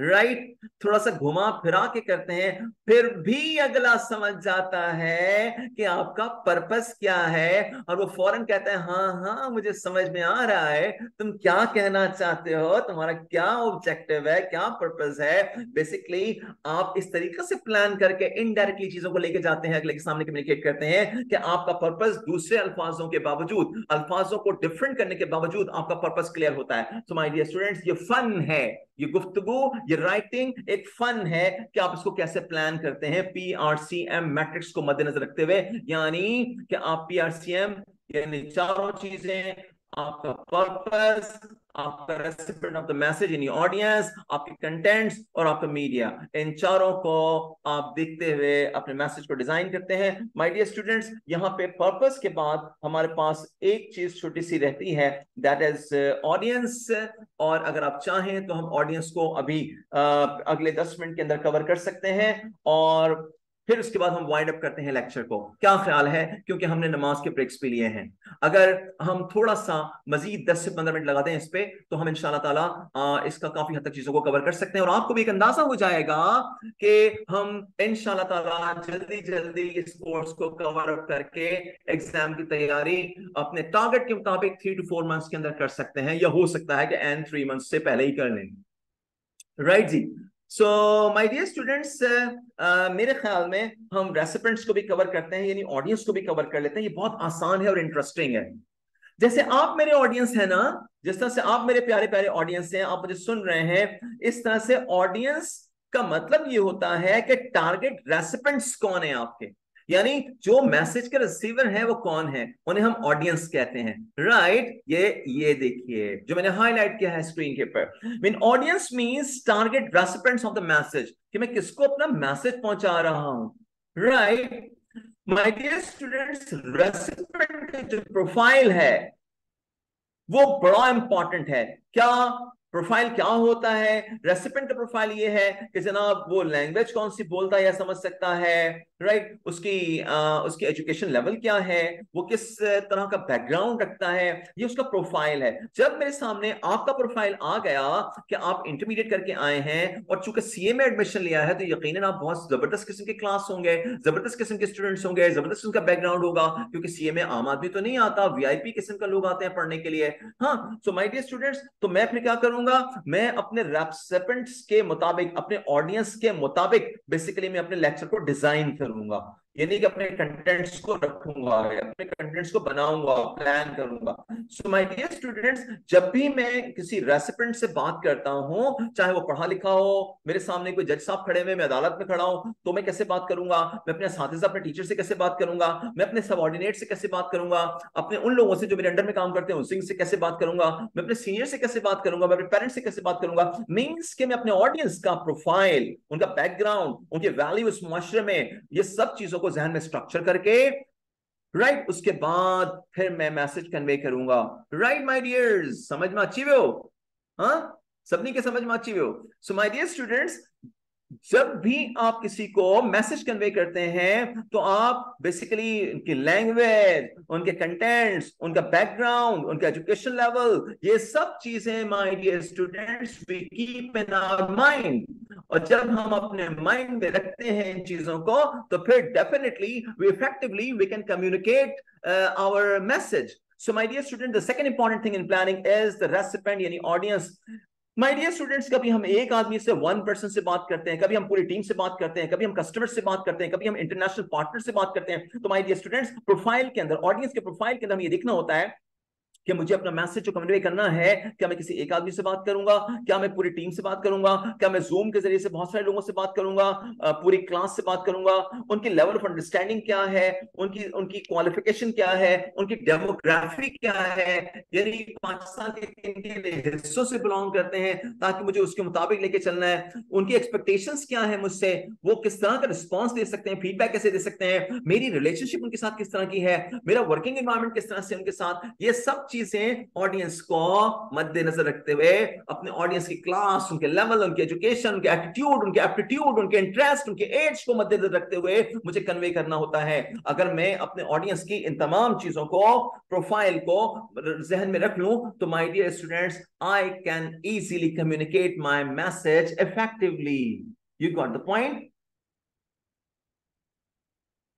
all right Amar. so my dear students these all different like elements of the profile uh, that we keep in our mind while conveying any message जब भी हम प्लानिंग करते हैं तो पर्पस के बाद नेक्स्ट हम ऑडियंस को देखते हैं ऑडियंस के लेवल को देखते हैं, उनके बैकग्राउंड उनकी education working environment relationship age इन सब चीज़ों को देखते हैं, तब हम डिज़ाइन करते हैं अपने मैसेज को right my dear students here we have given three examples आइए देखते हैं वन बाय वन यस में से एक दो एग्जांपल्स मैं कर लेता हूँ, और बाकी आप कीजिएगा। यहाँ लिख लीजिए this is example number one side में लिख लीजिए यहाँ पे, ये बॉस वाली एग्जांपल नंबर वन है राइट और हियर ये जो this one is example number two side में लिख लीजिए एग्ज़ाम्पल नंबर टू राइट लिख के तो मैंने दिया था, लेकिन प्रिंटर से कैसे रह गया? या एग्ज़ाम्पल के नंबर नहीं लिख सके वो राइट right? उसके बाद this is example number three right this is example number three right so ये तीन एग्जाम्पल्स दी हुई हैं यहाँ. आइए देखते हैं example number one a boss may want a business plan to be covering travel details together with the over with the overreaching uh, strategy right? The overarching strategy. Any communication to him should not miss out on the required information. Otherwise it is expected to be disapproved. My dear students yahan pe aapne koi business plan banana hai. तो business plan बनाना है, अपने उन चीज़ों को देखते हुए कि किन चीज़ों के बेसिस पे मेरा बिज़नेस प्लान अप्रूव होगा। अगर आप उन चीज़ों को फॉलो नहीं करेंगे बॉस के सामने, जिन चीज़ों को जहन में रखना चाहिए था, लिखना चाहिए था, देना चाहिए था मेंशन करना चाहिए था, नहीं रखेंगे तो फिर वो डिसअप्रूव हो सकता है। तो माय डियर स्टूडेंट्स यहाँ पर बॉस को, उसकी नीड्स को, उसकी रिक्वायरमेंट्स को, या जो हम और जो सिचुएशन है, उसको मद्देनजर रखते हुए अपने ऑडियंस यानी जिसके लिए हम वो प्लान बना रहे हैं, उसको मद्देनजर रखते हुए अपने कंटेंट्स को मेंशन करना होगा राइट right? इसी तरह से एग्ज़ाम्पल नंबर थ्री देखते हैं हम, जो कि मैंने हाईलाइट की हुई है स्क्रीन के ऊपर। In order to gather votes a nominee plans for multiple ways to with voters? Election आ रहे हैं आपके सामने, फिर वही फला जी और फला जी होगा, लेकिन होगा वही जो कि एस्टेब्लिशमेंट चाहेगी। My dear students in order to gather votes a nominee plans for multiple ways to to interact with the voters जब भी कोई जब भी कोई नॉमिनी होता है, जब भी कोई आपका जो इलेक्शन के अंदर जो खड़े होते हैं, आपके कैंडिडेट्स वो बेसिकली डिफरेंट प्लान्स करते हैं कि हम अपने वोटर्स के साथ कैसे इंटरेक्ट करें, कैसे बातचीत करेंगे। ठीक है? फॉर एल्डरली यानी जो बड़ी उम्र के लोग हैं, उनसे कैसे बात करनी है? अपने बड़ी उम्र के ऑडियंस के लिए दे प्लान्स कि सोशल गैदरिंग की जाए, क्योंकि ये लोग जरा रिटायर होते हैं, बड़ी उम्र के होते हैं, इनको जरा, इनकी अब सोशल गैदरिंग चूँकि ना होने के बराबर होती है चाहते हैं कि कोई ऐसे ऐसे कोई प्लान किया जाए जहाँ पे गपशप करें और मिल बैठे। ठीक है? तो उन्होंने सोचा कि जी, बड़ी उम्र से के लोगों से वोट लेने के लिए हमें उनके लिए सोशल गैदरिंग अचीव करनी होगी। वहाँ पे खाना, कोई खापा वापा करेंगे, खाना वाना करेंगे और उनसे गपशप करेंगे, ऐसा से मुझे वोट मिल जाएँगे। ये तो हो गया बड़ी उम्र के लोगों के लिए एल्डरली सेकेंड स्टूडेंट्स को कैसे गैदर करेंगे? वो कैसे वोट देंगे? क्योंकि सारे नौजवान किसके साथ हैं? आपको पता ही है सारे। सो so, फिर स्टूडेंट्स कैसे वोट उनसे कैसे वोट्स देंगे उसके लिए इन्होंने क्या सोचा? कैंडिडेट ने सोचा कि he opens up a scholarship fund कि जनाब यंगस्टर्स को पढ़ने लिखने का बड़ा शौक होता है। तो एक स्कॉलरशिप फंड बना दिया जाए पढ़ने वालों के लिए। हाँ? और बिजनेसमैन के लिए क्या सोचा? कि बिज़नेस वालों के लिए कि जनाब अपने अपने प्रपोजल लेकर आइए कि आप किसके शो में इन्वेस्टमेंट चाहते हैं कंट्री के अंदर, हम उसके ऊपर काम करेंगे। So this is what basically ये इन्होंने क्या किया? यंगस्टर्स के लिए स्टूडेंट्स के लिए एल्डर्स के लिए, इन लोगों ने सबका सबका, इन्होंने जो है वो एक प्लान कर लिया। Right right. यानी कि हमने वोट हासिल करने के लिए डिफरेंट एज के लोगों के का प्रोफ़ाइल बनाया कि हमने एल्डरली यानी बुज़ुर्ग सीनियर्स इसके अलावा हमारे स्टूडेंट्स उनसे कैसे वोट लेने हैं सीनियर से कैसे लेने हैं, और इसके अलावा जो बिजनेसमैन क्लास है उनसे कैसे लेने हैं, इन्होंने सबका प्रोफ़ाइल बना के और फिर प्रोग्राम बनाने शुरू किया है कि हम कैसे कम्युनिकेट करें अपने ऑडियंस को इन तीनों डिफरेंट टाइप के डिफरेंट एज के डिफरेंट क्लास के ऑडियंस को, हम कैसे उनसे वोट लें, उसके उन्होंने प्लान किए यानी इसका मतलब ये हुआ कि वोट यानी एक कैंडिडेट जो इलेक्शन में खड़ा होता है, वो भी अपने पर्पस को देखते हुए, अपने ऑब्जेक्टिव यानी वोट हासिल करने को देखने के लिए, वो किस तरीके से प्लान करता है कि मैंने किस तरह के ऑडियंस से, किस तरह के एज वाले बंदों से, किस तरह की क्लास यानी के स्टूडेंट क्लास या बिजनेसमैन क्लास या एल्डरली क्लास से किस तरीके से उनसे वोट लेना है, उनको मुतासर करना है इंस्पायर करना है, उसके लिए वो प्रॉपर वर्किंग करता है, उनके प्रोफ़ाइल को चेक करता है। You got it my dears so इसका मकसद ये हुआ कि ये कितना ज़रूरी है किसी भी शोबे के लिए, चाहे वो बिज़नेस के अंदर हो या बिज़नेस से बाहर हो या वोटर्स के लिए हो या किसी भी शोबे में हो, कि हमारे लिए कितना ज़रूरी है कि हम प्लान करें बिफोर राइटिंग एंड स्पीकिंग हम P R C M matrix को देखें कि हमने किससे बात करनी है, क्या बात करनी है, उसके मुताबिक प्लान करके फिर हम बात करें। इज़ दिस ओके डियर्स यहाँ एक छोटी सी लास्ट एग्ज़ाम्पल दी हुई है। इसके बाद हम क्लास को वाइंड अप करते हैं। और ये एग्ज़ाम्पल दी हुई है यहाँ इस टेबल के अंदर। ये आपके पास इस वक्त थर्टी सेकेंड्स का टाइम है। आपने न्यू क्लाइंट और ओल्ड क्लाइंट को किस तरीके से मद्देनजर रखते हुए, दोनों किस्म के ऑडियंस को मद्देनजर रखते हुए आप किस तरीके से अपना मैसेज कम्युनिकेट करेंगे? आपका पर्पस आपके जहन में है कि अपने क्लाइंट को आपने इंस्पायर करना है कन्विंस करना है, और आपके क्लाइंट जो है वो ये न्यू है फ़र्स्ट टाइम कम्युनिकेट कर रहे हैं, और ये ओल्ड क्लाइंट है, दोनों की लैंग्वेज किस तरह से डिफरेंट होगी, ये आपको इस एग्ज़ाम्पल से वाज तौर से समझ में आएगा। You have thirty minutes time to go through both of the examples, new clients and old clients. And your time starts now.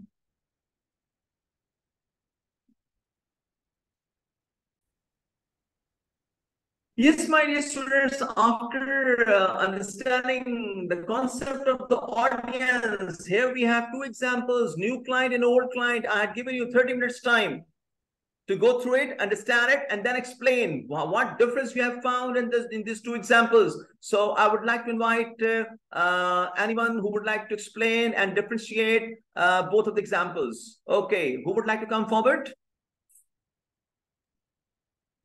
Okay, Zuhaib Khatak has switched on the mic. And uh, Zuhaib Khatak, please start.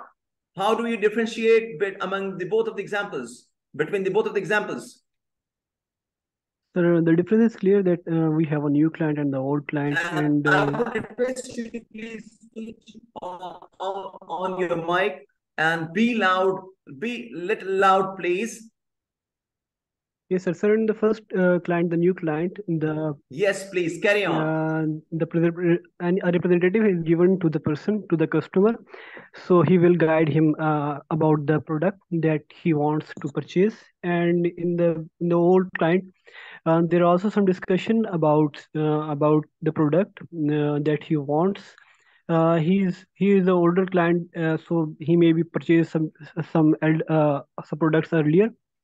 So installation can be made to him by by the by the representative give provided to him at, at his address. So I don't think so right. any other difference there are. All right. Anybody else? And the next one, the old client, what, what, like the old client, uh, we are like, we have mentioned to the old client. Is there anybody else would like to come forward? Yes, Suhaib, would you like to add something more? Okay. Anybody else would like to come forward? Yes. We have Mr. Afakhan Jokyo as well.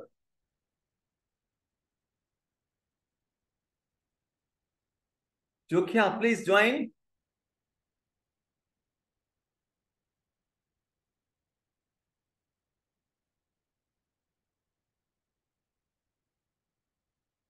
All right, all right. Okay, so at least there's a one guy who has uh, uh, given his opinion, his opinion or his uh, point of view. Uh, so anybody else? Any he's or she's?